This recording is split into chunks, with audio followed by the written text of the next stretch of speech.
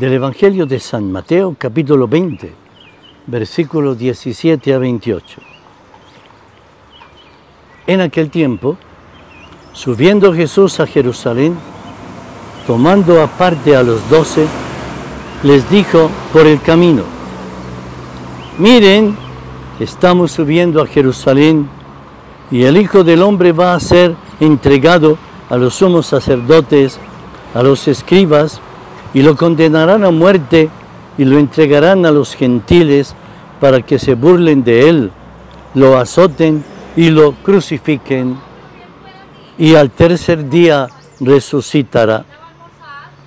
Entonces se le acercó la madre de los hijos de Zebedeo con sus dos hijos y se postró para hacerle una petición. Él le preguntó, ¿qué deseas? Ella contestó, ordena que estos dos hijos míos se sienten en tu reino, uno a tu derecha, el otro a tu izquierda. Pero Jesús replicó, no saben lo que piden. ¿Pueden beber el cáliz que yo he de beber? Contestaron, sí, podemos. Él les dijo, mi cáliz lo beberán, pero sentarse a mi derecha o a mi izquierda no me toca a mí concederlo. Es para aquellos para quienes lo tiene reservado mi Padre. Los otros diez, al oír aquello, se indignaron contra los dos hermanos. Y llamándolos, Jesús les dijo, saben que los pueblos de los jefes los tiranizan y que los grandes los oprimen. No será así entre ustedes. El que quiera ser grande entre ustedes, que sea su servidor, y el que quiera ser primero entre ustedes, que sea su esclavo. Igual que el Hijo del Hombre, no ha venido a ser servido, sino a servir y dar su vida en rescate por muchos. Palabra del Señor, gloria a ti, Señor Jesús. No olvidemos que estamos en esta concentración cuaresmal y Jesucristo es nuestro gran maestro. Él nos está enseñando.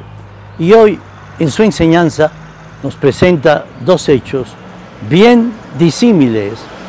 Porque en la primera parte del Evangelio Jesús presenta la petición de una mamá, que puede ser la petición de muchos.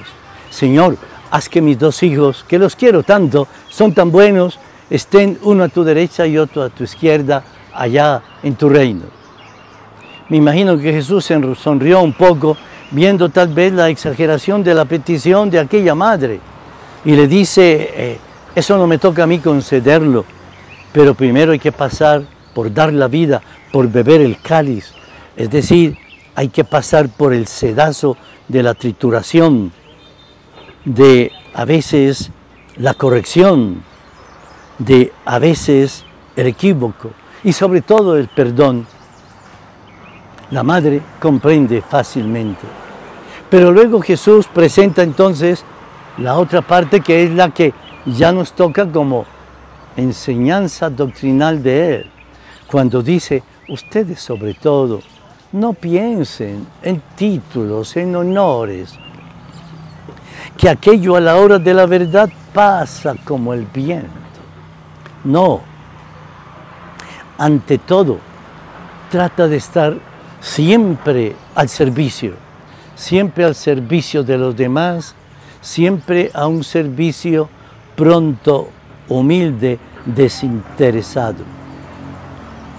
Me acuerdo desde que estaba pequeño cuando ya en, el gran movimiento Scout Internacional nos enseñaron al grupo, a la patrulla, nos enseñaron a estar siempre listos para servir. Y eso se fue quedando y se fue quedando.